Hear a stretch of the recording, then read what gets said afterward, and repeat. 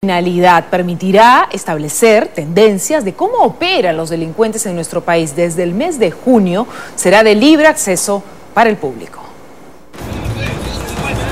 Solo con unos escritos y dibujos, empleando la psicología forense, se conoció el perfil del apodado Loco Harry, cabecilla de los malditos de Bayobar, culpable de las muertes más sangrientas de San Juan del Urigancho. Esta letra corresponde a Harry Cano Dávila.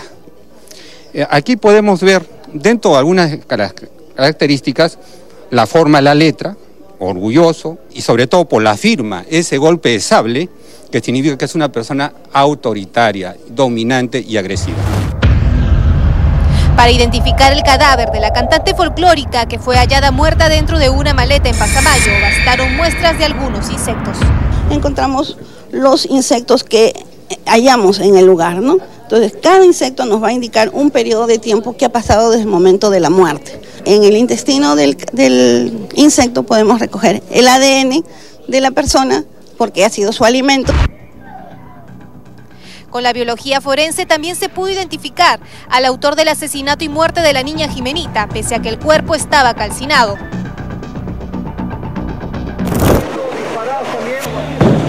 Con una técnica más rigurosa se logró identificar los restos también calcinados de Jorge Luis Guamán y Jovi Herrera, los dos amigos que fallecieron en el incendio de las Malvinas.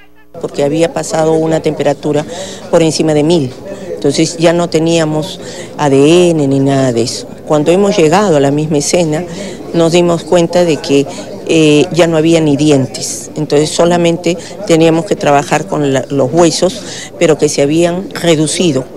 Eso nos ha llevado a que estábamos por encima de 1500 grados centígrados. Sabíamos de que, por ejemplo, Hobby medía 1,60 y el, y el otro medía 1,75. Entonces habían diferencias de tamaño tanto de vértebras, de costillas, de cráneo.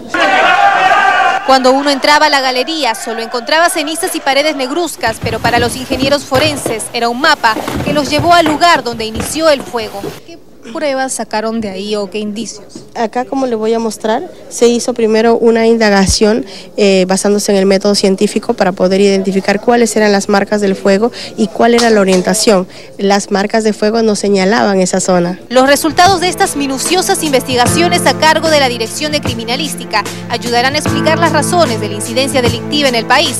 La policía presentó su Observatorio del Delito y la Criminalidad, que contendrá toda esta data.